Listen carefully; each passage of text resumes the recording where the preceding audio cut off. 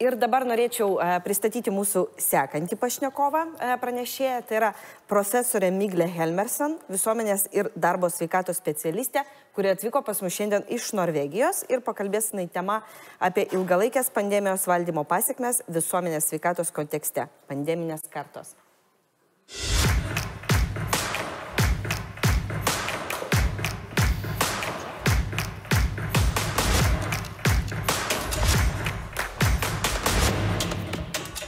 Labadiena. Dėkui iš pakvietimą.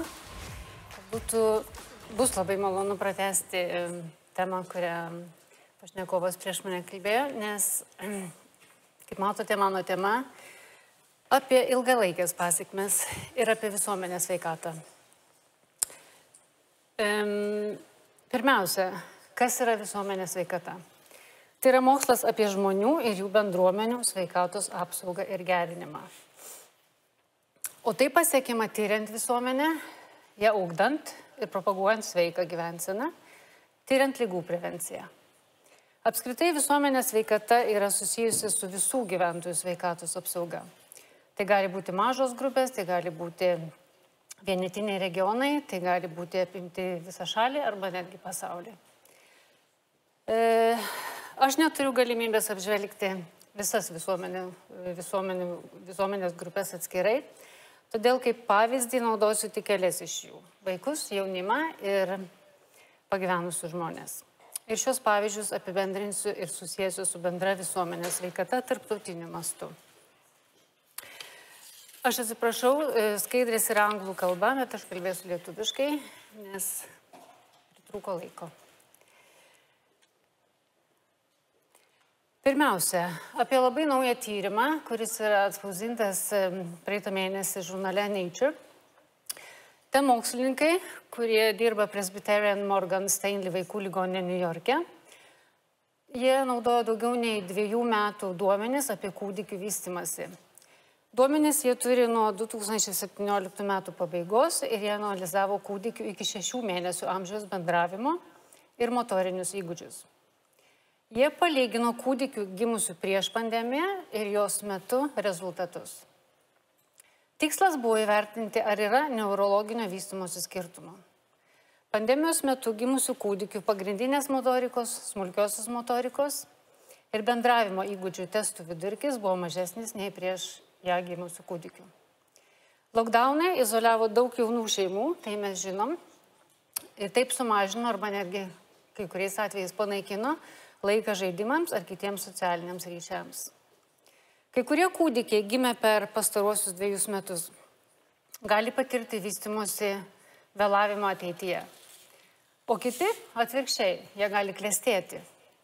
Jei globėjai turėjo geras sąlygas izoliuotis namie, o broliams ir sesėms buvo daugiau laiko bendrauti kartu. Kaip ir daugelis veikatos aspektų pandemijos metu, Socialiniai ir ekonominiai skirtumai turi aišku vaidmenį, nustatant, kas nukenčia labiausiai. Tačiau ir prenatalinis stresas, taip vadinamas stresas neštumo metu, galėjo prisidėti prie kai kurių smegenų pokyčių. Pandemijos metu gimusių kūdikių vystimosi testai buvo blogesni nei pas kūdikius gimusius iki pandemijos. Tie testai buvo panašus į mūsų žinomus įkių testus. Mokslininkai taip pat nustatė, kad kūdikiai iš mažas pajamas gaunančių šeimų patyrė didžiausią vystimosi nuosmukį, kad berniukai buvo labiau paveikti nei mergaitės ir kad bazinė motorika nukentėjo labiausiai. Nerima aišku kelia tai, kad kuo ilgiau tęsiasi pandemija, tuo daugiau vystimosi trūkumų akumuliuojasi, sumuojasi. Ir kaip mokslininkai šitam tyrimė pasakė, kiekis yra didžiulis ir tai tiesiog stulbina. Mokslininkai šitame tyrimė įtarė, kad to priežastis yra bendravimo tarp žmonių trūkumas. Tyrime, kuris dar nepaskelbtas čia tų pačių mokslininkų, nustatė, kad per pastarosius dviejus metus žodžių, kuriuos tėvai pasakė savo vaikams ir vaikai savo tėvams, skaičius buvo mažesnis. Ne ankstesniais metais. Jis taip pat, e, šis mokslininkas įtarė, kad kūdikiai ir mažyliai negauna galimybės judėti tiek, kiek įprastai nes jie nebesutinka reguliariai kitų vaikų ir su jais nežaidžia. Ir neramu, kad tie įgūdžiai tarsi padeda pagrindą visiems kitiems įgūdžiams, kuriuos mes tikrai matysime vystymosi raidoje ateityje. Taigi mokslas parodė, kad vaikų įgūdžiai vystėsi geriau, jei pandemijos metu jie turėjo galimybę susitikti grupėse arba kitokiuose sąlygose. E, ir kad ši nauda buvo ryškesnė tarp vaikų šeimose gaunančių mažesnės pajamas. E, taip pat mokslas pažiūrėjo, kaip šis pandeminis stresas paveikė vaikus iššiose, tai reiškia neštumo metu. Ir kūdikių gimusių poroms, kurios patyrė daugiau streso neštumo metu, daugiau nerimo ar depresijos simptomų, smegenės turi daugiau struktūrinių pakeitimų tarp amygdalos ir korteks dalyje. Tai yra smegenų dalis, smegenų dalis dalyvaujančios emocinių įgūdžių vystimės ir procesuose. Taip pat pamatėm, kad berniukų, berniukam šie smegenų pokyčiai koreliavo su agresyviu ir hiperaktyviu elgesiu iki mokyklinėme amžiuje. O mes iš anksčiau žinome, kad būtent šių sričių struktūriniai pakeitimai pasuaugusius yra depresijos ir nerimo rizikos veiksniai. Ir truputis optimizmo. Net jei pandemija tikrai padarė poveikį vaikų smegenims, vis dar yra laiko tai pataisyti. Tai yra grįžti atgal į teisingą kursą. Mokslininkai sako, jog mes galime išvengti nepageidaujamų pasiekmių visuomenės veikatos požiūrių. Šešių mėnesių kūdikių smegenys yra labai plastiškos ir mes galime pakeisti šią teritoriją, bet tam turi būti padaryti esminiai ir dideli sistemos pokyčiai šeimoms su vaikais šioje prenatalinės priežiūros ekosistemoje. O jei norime sėkmės šitame darbe, tai reikia daryti pirmosiomis tūkstančių vaiko gyvenimo dienų, nes ten šitas laikotarpis yra pamatinis laikotarpis vystimuisi. O jeigu mes visi paskaičiuosime, tai pirmiesiems pandemijos kūdikiams gimusiems 2020 m. kovo mėnesį, būtent šiuo metu jau yra daugiau nei 650 dienų. Taigi, jeigu kažką darysime, reikia daryti dabar. Pažvelkime į didesnę vaikų grupę. Socialinės ekonomikos profesorius Born Atveg Norvegijoje ir jo kolegos naudojo tyrimui pasaulinius duomenis kad įvertinti, kiek kainuoja Norvegijos mokiniams uždarytos mokyklos. Jų skaičiavimais pradinės mokyklos mokinys praranda vidutiniškai 170 eurų busimų gyvenimo pajamų per dieną, jei mokydamasis iš namų vieną dieną. Šis įvertinimas buvo pagrystas tuo, kad mokymasis namuose yra per pus mažiau produktyvus nei įprasta mokykla. Todėl mokymosi mokyklose naudos praradimas yra daug didesnis nei mokymasis iš namų. Pagrystas nuostolių vertinimas greičiausiai siekia 80-90 procentų. Taigi, mokymosi nuostoliai sudarė apie 300 eurų būsimų pajamų per dieną už kiekvieną prarastą dieną mokykloje. Todėl kyla logiškas klausimas. Ar tikėtina, kad besimptomį mokinį laikant karantine kasdienė e, nauda sveikatai viršė 300 eurų. Aš nežinau, gali būti, kad yra tokių paskaičiavimų, bet aš jų neradau. Tai, kas yra aišku, yra tai, kad nauda sveikatai yra neaiški. Didelė tikimybė, kad ji yra maža ir tam tikra tikimybė, jog nauda yra neigiama. Tai reiškia daroma žala sveikatai.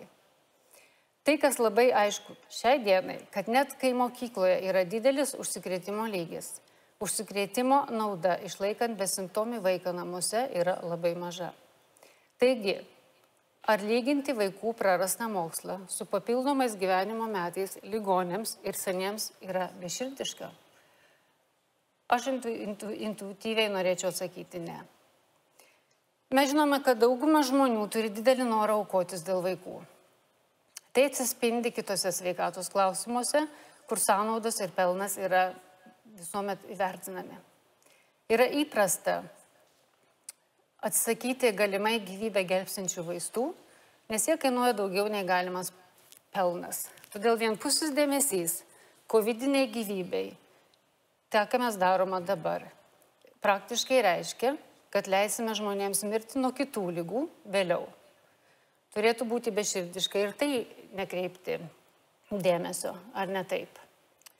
Taigi dabartinė taikoma kontrolės strategija, kuri siekiama išlaikyti turimus intensyvios terapijos pajėgumus ligoninėse ir išsaugoti senus ir lygotus žmonės, yra labai žalinga šiandienos jaunimui. Galbūt pelnas yra didesnis nei sąnaudos, gal, nežinau, tikiuosi ir jūs nežinote. Tačiau nerima kelia tai, kad ši politika nėra pagrįsta gerai apskaičiuotomis naudos ir kaštų analizėmis. Apie senolius. Jums pristatau duomenis visiškai šviežius iš Norvegijos sveikatos ministerijos. Jie paskelbė ataskaitoje, e, kurioje nurodoma tiesiog bauginanti statistika apie pagyvenusių žmonių socialinę izolaciją. Net 82 procentai atsakė, kad socialinė izolacija patyrė kaip stresą. Šioje ataskaitoje socialinė izolacija patiria dėl pandemijos 8 kartus daugiau seniorų, nei patyrė tokia pat izolacija prieš pandemiją. Apklausos dalyvių taip pat buvo paprašyta įvertinti baimę dėl koronos. Taip pat baimę, kurią sukelia žiniasklaida. Beveik pusė dalyvių pranešė, kad bijo koronaviruso, o dar daugiau senolių jautė nekomfortą apie tai galvodami. Taigi rezultatai taip pat rodė, kad baimė didėja su amžiumi. Net ir senolių grupėje visuomenės veikatos požiūrių tai baimė kyla su amžiumi. COVID-19 nėra pati didžiausia krizė mūsų istorijoje. Tai net nėra didžiausia visuomenės veikatos krizė mūsų istorijoje. Tačiau lockdownai be jokios abejonės yra didžiausias įsikišimas į asmeninę laisvę mūsų istorijoje. Šiuo metu dar ir normalu pridėti taikos metu, nes žmogus turi tendenciją greitai pamiršti. Ir tie, kas nežino ar pamiršo, galiu priminti, kad netgi karo metu gyventojai nebuvo verčiami būti savo namuose 24 valandas per parą ir 7 dienas per savaitę. Pagyvenusių žmonių uždarimas, iki kol koronavirusas bus nugalėtas, yra žiaurus pasityčiamas iš pagrindinių žmogiškų vertybių. Taip sako buvęs aukščiausiojo teismo teisėjas Lord Sumption, kritikuodamas Britų vyriausybę. Lockdownai yra politinis, o ne mokslinis sprendimas. Ir tai susiveda į vieną klausimą. Ar tai verta? Ar tai pasiteisino? Pirma, ar tai pasiteisino medicinių požiūrių, nes tiesiogiai neigiamos pasiekmes visuomenės sveikatai yra nuo paties lockdowno. Antra, turime savęs paklausti, kiek mirčių esame pasirengę priimti, kad išsaugotume kitus dalykus, kuriuos vertiname. Trečias klausimas, kokią gyvybę mūsų manimų mes saugome? Ir ketvirtą klausimą Lordas uždavė pinigų klausimą. Nes šimtai tūkstančių įmonių žlunga, milijonai priklauso nuo kreditų, klesinti ekonomiką, kurią mes dabar naikiname, yra mūsų saugumo šaltinis ir mūsų vaikų ateities pagrindas. Visos šitos baimės irgi paveikia mūsų sveikatą. E, vienas populiariausių švedų epidemiologijos profesorių Johanas Gisekė pastebėjimų, e, kuriame jis pagrindė Švedijos atsakymą, atsisakymą uždaryti savo žmonės, kaip jūs žinote, jie neturėjo lockdownų, buvo visai ne apie epidemiologiją. Jo mintis buvo ta, kad yra galimybių infekcijos kontroliai, kurios veikia, mes žinom, ir būtent jos, būtent tas galimybės, tos veiksmus naudoja totalitarinės valstybės, kaip Kinija. Ir jis pasakė, Tokia šalis kaip Švedija, turinti ilgas liberales tradicijas, negali to daryti, nebent nori tapti panašiai Kinėje.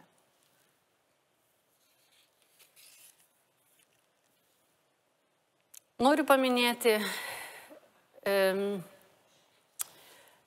e, burnouto sindromą, perdegimo sindromą, e, kuris yra psichologinis stovis apibūdintis viską apimantį išsekimą ir visapusiško intereso stoką.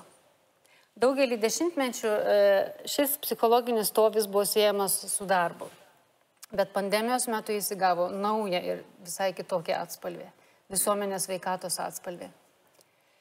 Ilgalaikis netikrumo jausmas ir stresas, kurio pabaigos nematome, yra riba, kiek žmogus gali atlaikyti. Per pirmosius pandemijos mėnesius buvo pastebėta netikėtas, bet reikšmingas depresijos atvejų sumažėjimas tarp sveikatos priežiūros darbuotojų. Mokslininkai mano, kad tai įvyko todėl, kad jie matė prasme savo veikloje ir socialinį bendromeniškumą. Jautėsi dalis kažko, kažko reikšmingo.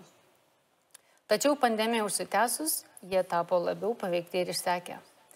Pasak šių mokslininkų, jie buvo nepaprastoje situacijoje, kaip streso situacijos dažniausiai suprantamas ir, ir jaučiamas, e, ir su kasdieniškai nenormaliai aukštu rūpešio jausmu.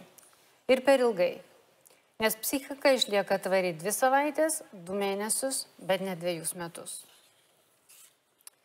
Baime yra evoliuciškai išsivystęs jausmas, kuris verčia mus reaguoti į grėsmes. Tačiau šiuo pandemijos etapu, kai ilgai turėjome kovoti su nuolatinė COVID grėsme, mes jau nebepasitikėme savo smegenėmis, kurios vis dar skelbia apie grėsmę. Be to žmonėje, žmonėje jau vargina fiziologiniai streso simptomai. Nervų sistema reaguoja stresą per hormonę sistemą. Mes žinome, kad kortizolio, kortizolio kiekis lygis pakyla, padažnėja širdies ritmas, o tai vargina organizmą. Ir mes palaipsniui ateiname į didelę lėtinio nuovargio būseną. Kodėl tai negerai? Todėl, kad bijoti yra taip pat rizika sveikatai. Tadgi, truputį apie baimę. E, šiandien žmonės visame pasaulyje yra bombarduojami bauginančią medicinę informaciją apie tai, kaip koronavirusas nekoja organizmą, sukeldamas nuolatinę žalą ir nuolatinės sveikatos problemas. Tačiau, kaip iliustruoja gydytojas, mokslininkas Artur Barski savo 2017 m. straipsnėje, paskeltame vienas iš žymiausių Amerikos medicinos asociacijų žurnale, Jisai sakė, kad mes šiandien žinome labai daug apie tai, kaip informacija, baime, interpretacijos ir lūkesčiai apie sunkę lygą padidina simptomus. Tai dar vadinamas nocebo efektas. Atvirkštinis nei placebo efektas. Ir toks procesas gali padėti išlaikyti ilgalaikės su negale susijusias sveikatos problemas ir pačią, ir pačią negalę. Tai yra tam tikras medicinė, tai, tai yra tam tikra prasme medicinė e, žalojimo forma. Todėl tai yra labai svarbus etinis dalykas. Mes juk žinom, jog smegenys yra svarbiausias kūno organas. Jos sukuria simptomus, ką, e, kas yra mūsų subjektivus kūno suvokimas. Ir sureikšmina juos atsižvelgiant į tai, kiek grėsmingas ir svarbus kūną žalojantis faktorius yra. Tokiu būdu realiai nėra fizinių ar psichinių, tikrųjų ar įsivaizduojamų simptomų, yra tik simptomai. Todėl patirtis ir informacija iš anksčiau gali sustiprinti simptomus dabar, nepaisant priežasties. Ir tokiu būdu taip mūsų smegenys sukelia streso reakcijas, kurios yra kūniškos, pavyzdžiui, širdies plakimas, pakitęs kvėpavimas, odos reakcijos, pakitusi žarnyno veikla hormoninės sistemos veikla ir imuninės sistemos pokyčiai. Ir kaip pažymėjo norvegų gydytojas Vegar Weiler, šios fiziologinės reakcijos gali tapti nuolatinėmis. Todėl yra labai svarbu, kad gydytojai, mokslininkai, žurnalistai, politikai, kitos valdžios institucijos ir dauguma žmonių turėtų etinę atsakomybę už medicininės informacijos sklaidą. Nes Kai žmogus jaučia baimę ilgai ir daug, įsijungia saugumo ieškojimo mechanizmas. Tokį mechanizmą pavadino e, švedų psichiatras Davidas Eberhardas kaip security junkie syndrome. Labai gerai apibūdina šį fenomeną. Tai reprezentuoja asmenį, kuris yra apsėstas ieškoti saugumo jausmo visur ir visada. Ir šis psichiatras primena žmonijai, jog mes žmonės esame mirtingi. Tačiau paprastai mums to neprimena kasdieninė žiniasklaida. Atvirkščiai, žmonija gauna nuolatinę informaciją apie nekontroliuojamą situaciją, kuri verčia mus pervertinti riziką. Tokiu būdu sukelianti paniką. Jis taip pat pristatė ir The National Panic Syndrome tuo pačiu metu su Jenkins syndrome. Du fenomenai, kurie eina ranka, ranka ir koja kojom. Nes mes, kai žmonės, kuo daugiau saugumo jausmo gauname, tuo daugiau saugumo siekiame toliau, nes jaučiamės vis dar nesaugus. Ir tada pasidaro labai lengva valdyti žmogų. Baimė yra bazinis jausmas, kuris tikrai neveikia žmogaus naudai. Taigi visuomenės veikatos požiūrių, kad išvengti šio nacionalinės panikos fenomeno, reikia pripažinti ir dirbti su savo baimėmis. Pasitelkite sveiką protą, sako mokslininkas. Nepamirškite, kad gyvenimo trukmė vakarų pasaulyje yra apie 80 metų. O vyresniems nei 80 metų žmonėms tikimybė išgyventi buvo net 96 procentai pagal Norvegijos duomenis nuo šio viruso. Vidutinės mirties nuo COVID amžiaus vidurkis yra maždaug toks pat kaip gyvenimo trukmė Norvegijoje, tai yra 83 metai.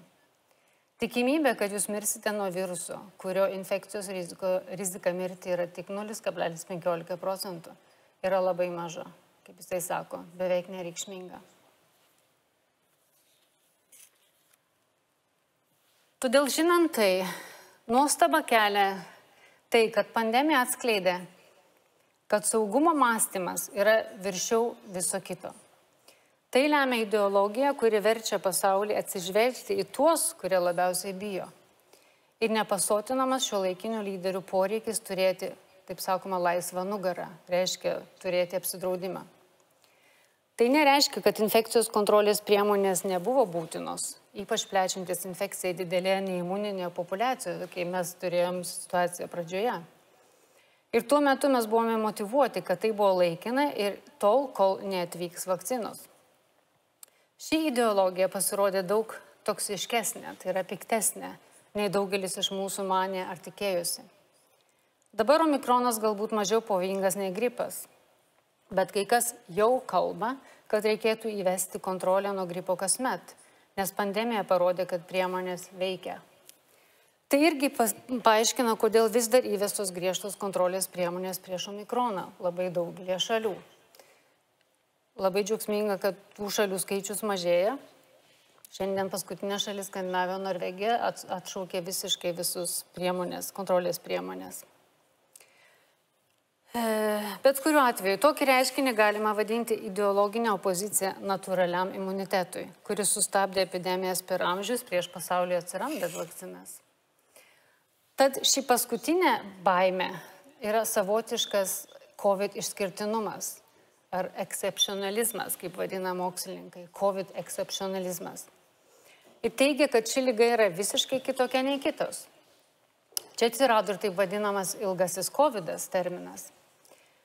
E, mano nuomonė, duomenys rodo, kad koronavirusas, kaip ir kitos virusinės lygos, sunkios lygos atveju gali sukelti ilgalaikius negalavimus, bet kaip ir visos kitos virusinės lygos.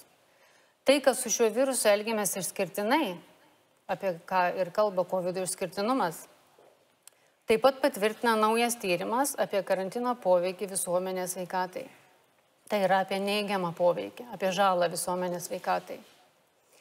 Šie mokslininkai, tai buvo iš Johns Hopkins universiteto ir, ir Danijos, šaltiniai ir pavardės jūs matote e, skaidrėje, e, išanalizavo lockdowno priemonių tokių kaip mokyklų uždarimas, verslo uždarimas ir kaukių mandatai poveikiai COVID-19 mirtims. Per pirmąją COVID-19 bangą 2020 m. pavasarį lockdownai mirštamumą nuo COVID-19 Junktinėse valstijose ir Europoje sumažino tik maždaug 2 procentais. Šioje metaanalizėje visuomenės veikatai tiesiog ne, tiesiogiai nebuvo vertinama. Bet daroma išvada yra, kad lockdownai padarė milžiniškos ekonominės ir socialinės žalos.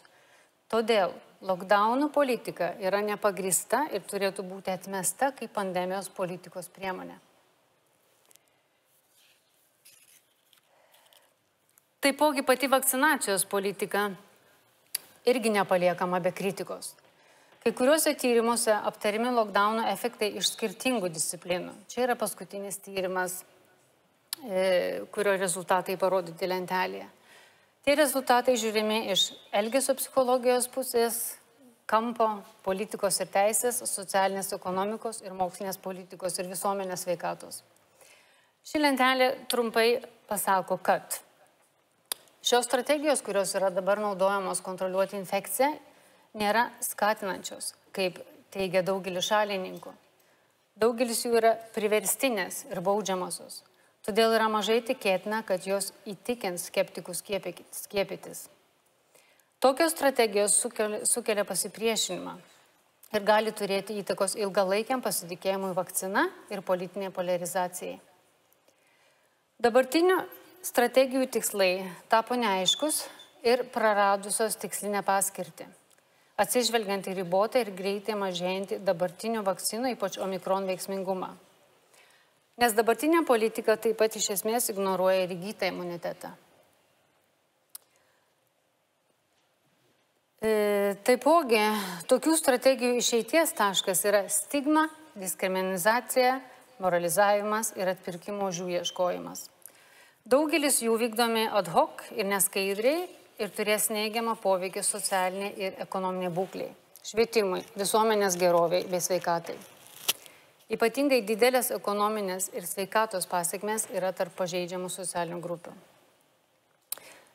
Mokslininkai taip pat sako, kad žmogaus teisų įstatyminė bazė buvo sukurta siekiant užtikrinti, kad žmogaus teisės būtų gerbiamas net ir pandemijos metu. Turime sutelkti dėmesį į nediskriminacinę pasitikėjimų pagrįstą visuomenės veikatos politiką, pagrįstą teisingumu, socialiniu teisingumu ir bioetika. Priešingų atveju atsakas bus nepasitikėjimas ir pasipriešinimas. E, šio mokslinio straipsnio išvadose raginama, kad socialinių ir e, elgesio mokslo mokslininkai, bioetikos mokslo, epidemiologai, teisės mokslininkai ir visuomenės veikatos mokslininkai skubiai imtųsi empiriškai vertinti šios vakcinacijos politikos naudą ir žalą. Nes tai labai svarbu siekiant skatinti veiksmingą ir teisingą reagavimą į pandemiją ne tik dabar, bet ir ateityje. Ir truputį apie etiką. E, pristatysiu Jums elgesio techniką, kuri vadinama nudging ir reiškia lietuviškai stumti ar stumtelti, švelniai paskatinti ką nors, e, padaryti ką nors norimą kryptimi.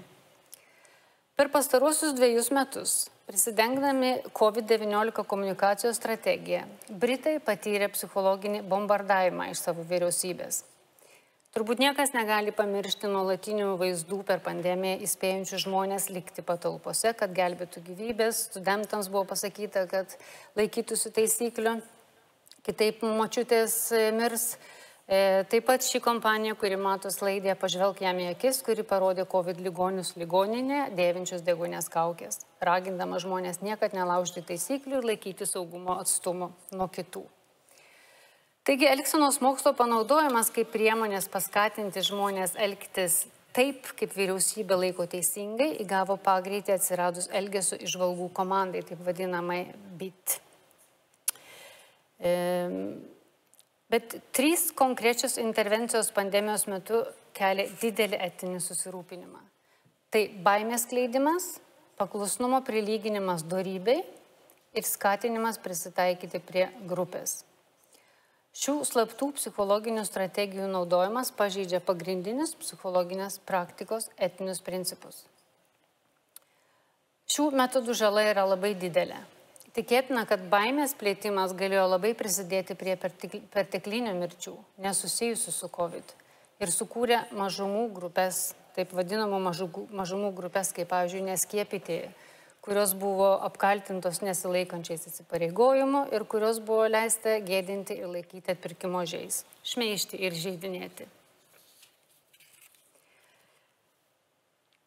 Elgesio mokslininkai nuolat pažeidinėja šventą etinės praktikos kertinę akmenį - būtinybę gauti informuotą dalyvio sutikimą prieš atliekant medicininę ar psichologinę intervenciją.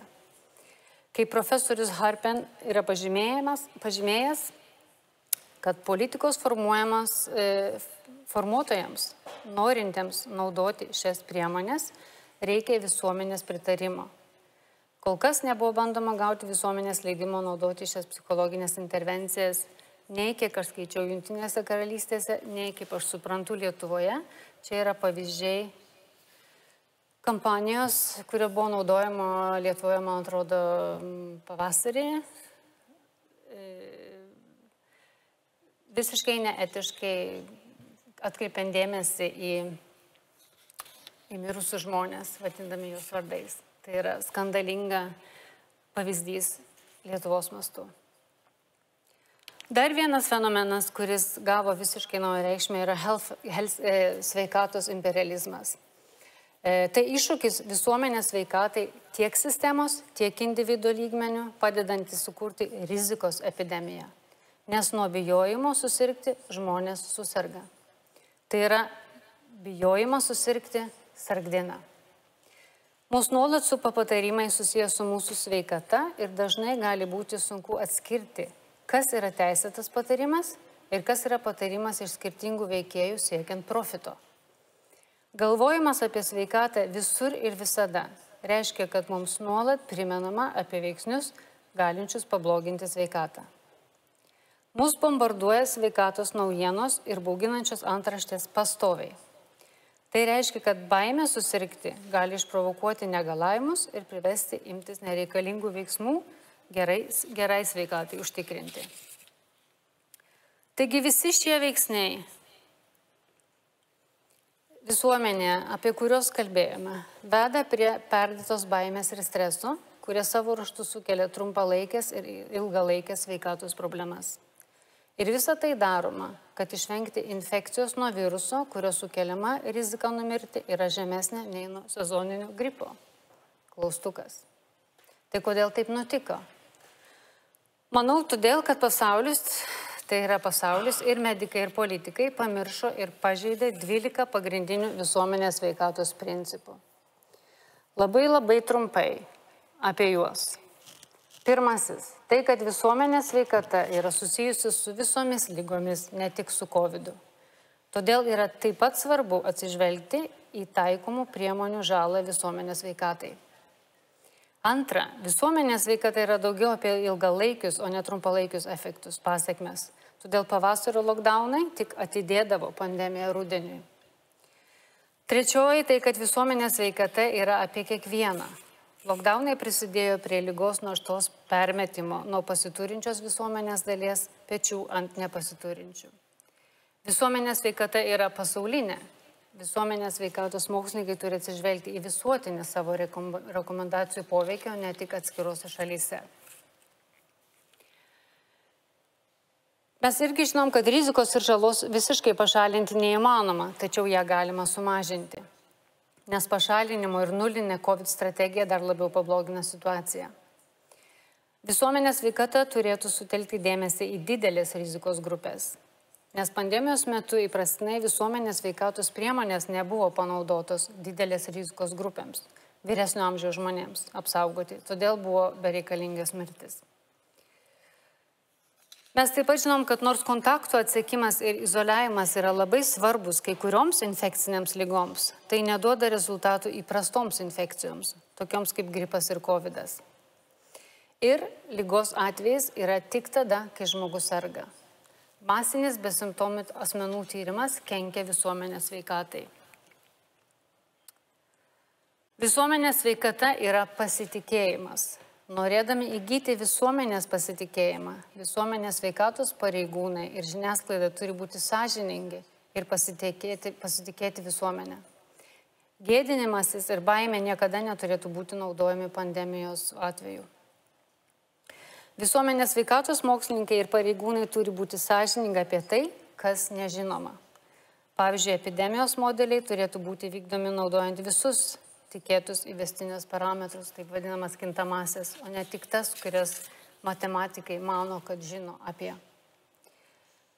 Visuomenės veikatos rytyje atviros civilizuotos diskusijos yra labai svarbios. Cenzūra, nutilėjimas ir smerkimas sukelia baimę kalbėti, stabdo logiką ir skatina nepasitikėjimą. Ir paskutinioji - tai, kad visuomenės veikatos mokslininkams ir pareigūnams svarbu įsiklausyti į visuomenę, kuri patiria visuomenės veikatos pasiekmes. pasiekmes. Ši pandemija įrodė, kad daugelis ne epidemiologų geriau supranta visuomenės veikatą nei kai kurie epidemiologai.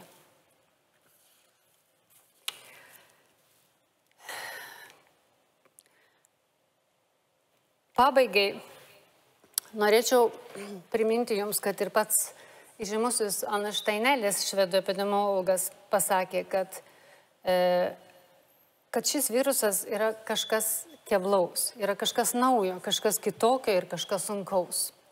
Ir tai turi būti geriau suprantama, kad išvengti pasiekmių skaitant gydimą. Tikiuosi, kad ateityje bus sutelkta daugiau dėmesio paaiškai gydimui, o ne dėti visas pastangas, kad išvengti infekcijos bet kokią kainą. Tai buvo tainėlį žodžiai. Tai, kas yra nebejotina, jog stresas ir baime yra biologiniai faktoriai, kurie paveikia ir sukelia simptomus visame kūne. Mano manimo, mokslas, kuris neįtraukė arba neižvelgia šios perspektyvos, yra neadekvatus analizuoti ir suprasti visus pandeminius iššūkius pilnai kaip visuma ir neižvelgia fiziologinės, medicinės ir visuomenės veikatos poveikio visoms visuomenės grupėms, visoms e, žmonių kartoms. E, šitie punktai yra ištraukai iš Norvegijos koronos komisijos pagrindinės žinutės visuomeniai. Kaip žinoma, Norvegija yra suorganizavusi koronos komisiją praeitoji vyriausybė tam, kad įvertinti, kaip vyriausybė dirbo pandemijos metu ir įsivertinti klaidas. Pagrindinė esmė visuomenės žinutė yra, jog savo infekcijos kontrolės darbuose vyriausybės neatsižvelgia į tai, kad rizika vienamas, viename sektoriuje priklauso nuo rizikos kitose sektoriuose. Pandemijos pradžioje vyriausybė nepasitikrino, ar infekcijos kontrolės veiksmai neprieštaravo šalies konstitucijai ir žmogaus teisėms. Vyriausybės strategija panaikinti infekcijos plitimą ir laikyti žemama lygyje pasiekmė yra žemas visuomenės imunitetas. Todėl tokia strategija reikalauja jau pasiruoštų veiksmingų vakcinų arba efektyvaus gydimo. Jei tokių neturime ar dar neturime, neįvedinėti griežtų apribojimų. Infekcijų kontrolės įstatymas neturi pakankamai aiškių demokratinės kontrolės reikalavimų, kai infekcijų kontrolės priemonės turi būti sprendžiamos skubos tvarka. Taip pat žinutė yra tai, jog pandemija paveikė visus, bet ne visus vienodai. Nes seni, sergantis, marginalinės grupės, žemas išsilavimas, žema socialinė klasė nekvalifikuoti darbai nukentėjo žymiai labiau. Vaikai ir jaunimas patyrė didžiausius nuostolius ir pasiekmes bus matomas per visą jų gyvenimo laikotarpį. Ilgalaikės pasiekmes visoms kartoms visuomenė yra tik numanomos. Jie aiškiai įvardė tai, kad mes nežinome, kas mūsų laukia. Taigi, e, labai svarbu vengti neįgiamo efekto. E, bet labai svarbu daryti tai proporcingai. Ir kaip patys norvegai sako, jie turi labai gerą patarlę, neapsimoka myšti kelnes, kai šalta. Todėl, kad gera tada ir dabar, gera ir šilta. Bet vėliau dar daugiau nepatogumų. Bus šalta ir šlapia. Taigi, nebijokime ir būkime sveiki. Dėkui. Ačiū labai.